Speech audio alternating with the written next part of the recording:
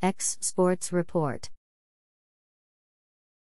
When our defensive energy was good, I thought there was some good play, Monrovia coach Kevin Rounds said.